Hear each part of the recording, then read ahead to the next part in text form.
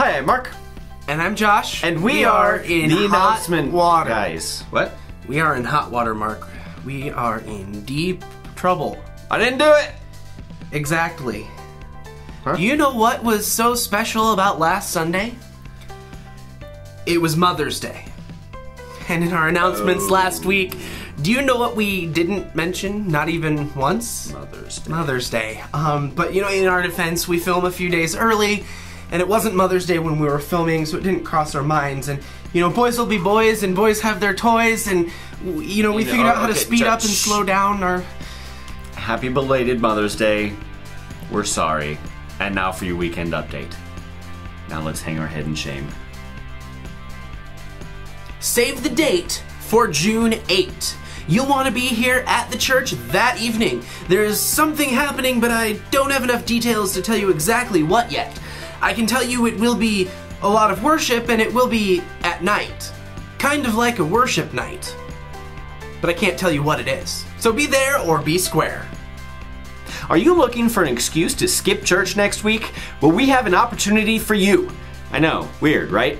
Well, here's the catch. If you're not going to be at church, you have to be the church. Next week, May 25th, is the St. Luke's Nursing Home Roundup happening at 9:30 a.m. If you would like more information on this opportunity, talk with Barb Kearns after the service. We've been talking about water baptisms and baby dedications for quite a while, and now we're going to give you one more chance to get signed up for the upcoming baptism and baby dedication services. If you would like to be baptized or have a child dedicated, please raise your hand now and leave it up until an usher gives you a sign up slip. Once you have that sign up slip filled out, please drop it off in the basket at the control booth on your way out of service today so we can get these services scheduled for you. Pastors Hank and Brenda Kunneman are coming to Living Word at the end of this month for a weekend of services you won't want to miss. Ladies, Friday, May 30th at 6:30 p.m. is the Arising Light Ladies meeting with Pastor Brenda.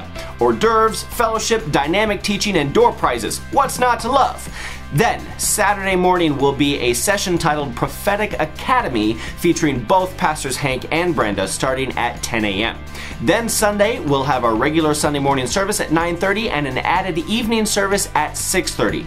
If you'd like more information on Pastors Hank and Brenda, visit our website at www.lwom.us.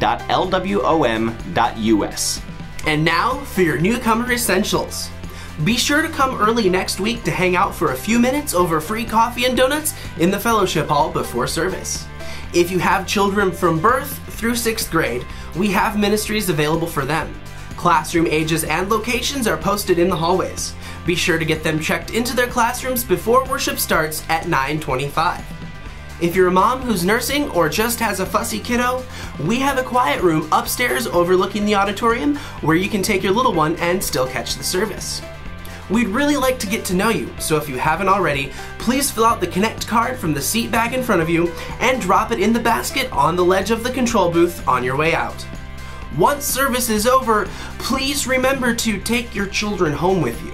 Checkout begins immediately after service. And please check the back of the bulletin for the church's weekly schedule, and also please check your bulletin for more information on these and other announcements.